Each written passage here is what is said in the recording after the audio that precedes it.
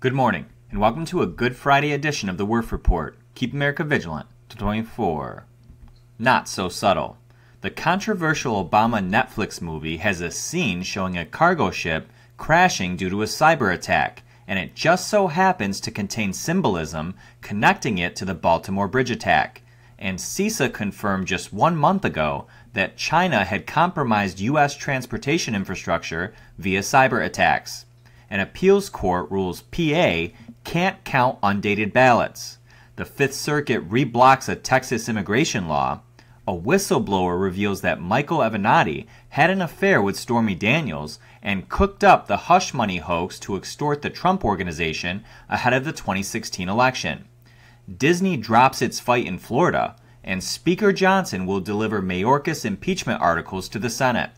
First, to the House of Representatives, where Speaker Mike Johnson has formally notified Chuck Schumer that he will deliver the articles of impeachment against Alejandro Mayorkas on April 10th, and that he must hold a full trial.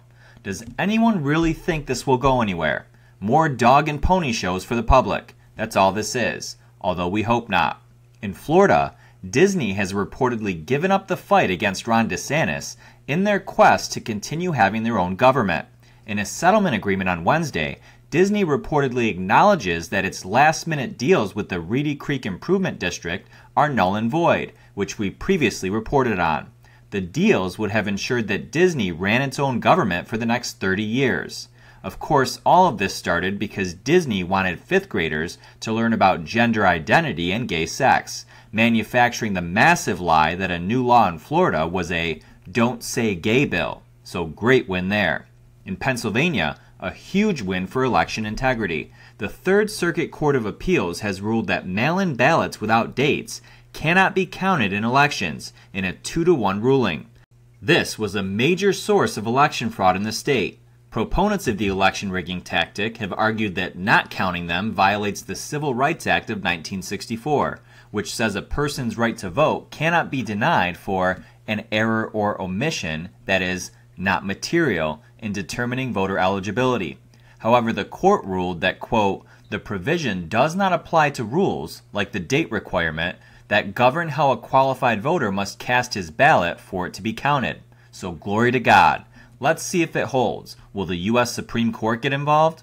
Meanwhile, in the latest game of ping pong, the Fifth Circuit Court of Appeals once again temporarily blocks a new law in Texas allowing police to deport and arrest illegals. The only reason they're fighting this so hard is because they're using illegals to influence the 2024 election by registering them to vote and using the cartels to force and intimidate them into voting for Joe Biden. The cartels go around and collect ballots from the illegals, making sure their vote is for Biden, as they did in 2020, just on a much larger scale now.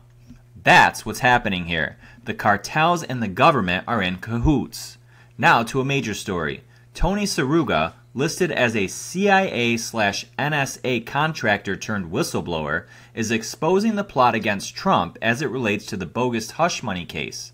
Saruga says he used to share office space with serial liar Michael Avenatti, and that Avenatti had worked to defraud and extort Keurig for money through Tully's Coffee, and posted on social media, quote, Avenatti shared details of his client Stormy Daniels, whose real name is Stephanie Clifford, case and the fact that her and Michael Cohen were actually having an affair since 2006. End quote. The whole hush money scheme was cooked up by Michael Cohen to extort the Trump organization before the 2016 election. Avenatti seemed pleased at how deviant Michael Cohen was. He says he overheard Avenatti bragging about it to Dennis Rodman at the Port Restaurant out on the patio in Corona del Mar, California. My, how it all comes out of the woodwork, huh, folks? Now get this. Last month at a CISA conference, the U.S. government confirmed that China has compromised U.S. infrastructure, including transportation, via cyber attacks, citing potential military intervention if a catastrophic attack was carried out, which we think could be the premise to rig, delay, and or interfere with our 2024 election and usher in a complete military coup. But that's another story. Flash forward one month and we have the Baltimore Bridge attack. But that's not all. It appears to have been an inside job involving the deep state. and it was foreshadowed in Obama's controversial Netflix movie, Leave the World Behind, with cryptic symbolism. Want to keep watching? YouTube continues to ban our channel and remove our truthful reporting, previously labeling our content as, quote, harmful to the public. Support us and sign up for full segments at thewerffreport.com where we can say exactly what we want without the censorship or suppression. Only $6.99 a month or $49.99 a year. You can also make a one-time donation by clicking the new donate button at the top right corner of thewerffreport.com to donate any amount you like and support us even more. We truly can't do this without you, so please support us today. Go to thewerffreport.com to sign up or donate.